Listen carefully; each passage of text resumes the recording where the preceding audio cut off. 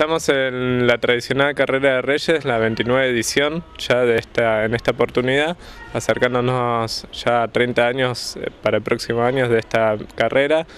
Es una carrera importante en la cual abre calendario de actividades que vos me preguntabas recién respecto a todas las actividades que se van haciendo durante el transcurso del año.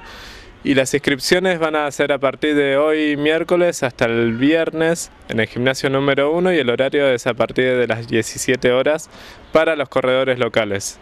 Los corredores que vengan de afuera van a ser exclusivamente solo para ellos, se van a poder inscribir el sábado en el, mismo día de la carrera. ¿Y cómo va a ser el recorrido de, esta carrera? El recorrido se va a respetar el recorrido que se hizo el año pasado, que es por calle Mitre, para que nada, la gente y el turismo pueda participar y, activamente y ver la carrera. Y, bueno, porque consideramos que era el mejor espacio para realizar la carrera en cuanto turísticamente también la gente pueda verlo.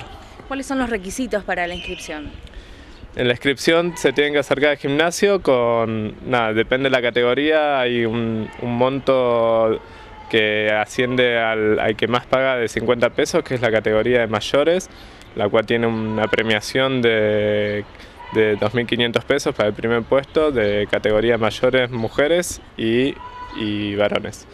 Y después de, los, de ahí para abajo los costos van bajando y solo con el documento y el que quiere participar.